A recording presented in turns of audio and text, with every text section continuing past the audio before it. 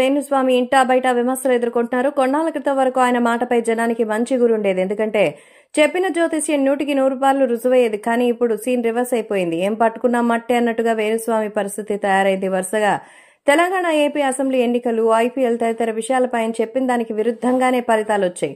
దీనికి తోడు కొందరు హీరోల వ్యక్తిగత జాతకాలపై చెప్పిన జోస్యం కూడా తేడా కొట్టడంతో వారి అభిమానులు సోషల్ మీడియాలో ట్రోలింగ్ దిగడంతో పాటు వార్నింగ్లు కూడా ఇస్తున్నారు. ఈ దెబ్బకు వేణుస్వామి సైలెంట్ అయిపోయారు. తానిక జీవితంలో సెలబ్రిటీల జాతకాలు చూడనని వాళ్ళ జీవితాలపై జోస్యం చెప్పనని భీష్మ ప్రతిజ్ఞ చేశారు. అన్నమాట నిలబడి ఉంటే ఖచ్చితంగా బాగుండేది మరి ఎలాగోలా ముందుకొచ్చేసేవారు. విడాకుల తర్వాత నాగచైతన్య సమంత ఎవరి జీతాల్లో వాళ్ళు బిజీ అయిపోయి ఎవరి బతుకు వాళ్ళు బతుకుతున్నారు.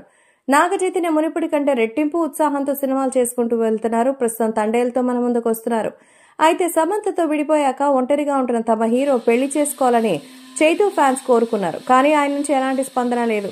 ఇలాంటి దశలో యంగ్ హీరోయిన్ శోభితతో చైతన్య ప్రేమలో పడ్డారని చట్టాపట్టాలేసుకుని తిరుగుతున్నారని గాసిప్స్ వచ్చాయి. చివరికి ఆ గాసిప్స్ నిజమని నిశ్చితార్థంతో కన్ఫర్మ్ చేశారు.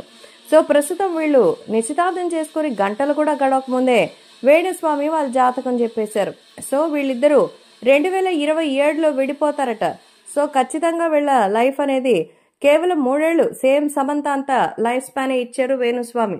మరి మొత్తానికి ఆ మాటలతో అక్కినేని ఫ్యామిలీకి బాగానే ఫ్యాన్స్కి కోపం వచ్చేసింది. సో ఖచ్చితంగా వేణుస్వామి మీద కేసు పెట్టేంత వరకు వెళ్ళారు. సో ప్రస్తుతం Hyderabad police commissioner Telangana DGP రాష్ట్ర మహిళా కమిషన్ సభ్యుల్ని కలిసి ఫిర్యాదు చేయాలని డిసైడ్ అయిపోయారు.